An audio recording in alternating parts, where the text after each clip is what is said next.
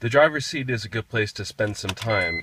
When you turn on the gauges, you can see that the RPM gauge starts at 4,500 RPM on a cold engine.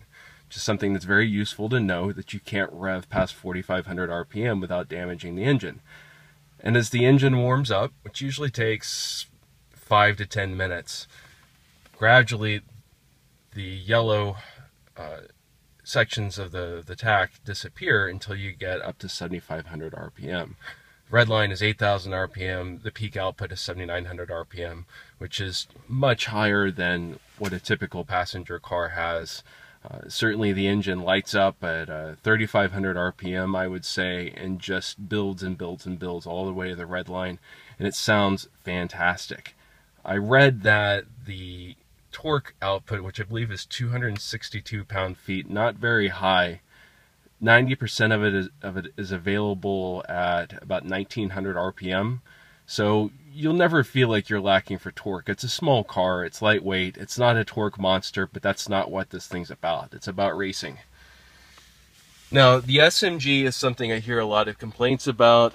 I am a bit of a manual purist myself, but having lived with it for three years, it's it's a very nice feature. It makes shift shifting incredibly easy. This particular model has 11 settings on it and as you can see you can adjust it right here so that's the lightest and most relaxed shift all the way to the most intense the only way you can get the the sixth setting to come on is you turn off the traction control which is something I do not recommend unless you're on a track.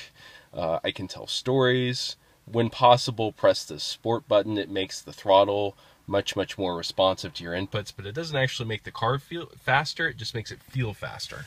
So generally I keep it in the fourth setting which is a pretty aggressive shift but that's what I like uh, if I wanted to go into the sixth mode which I just did I turned off the traction control then I can go into the fastest shifts I read somewhere that it does the job in something like 88 milliseconds. I don't know. All I can tell you is it's damn fast. I've driven the newer model. Uh, I drove the uh, the F10 M5 on a track at the BMW Performance Driving School, and I'm here to tell you, it's so much faster than this is.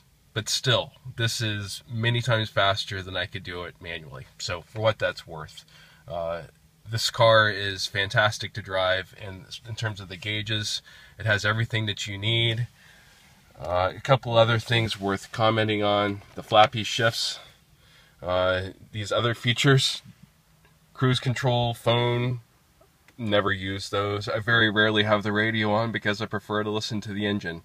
And that will also be something we'll do for the next video. I'm going to get up early and uh, take you all for a, a, a spin so you'll get to hear the engine.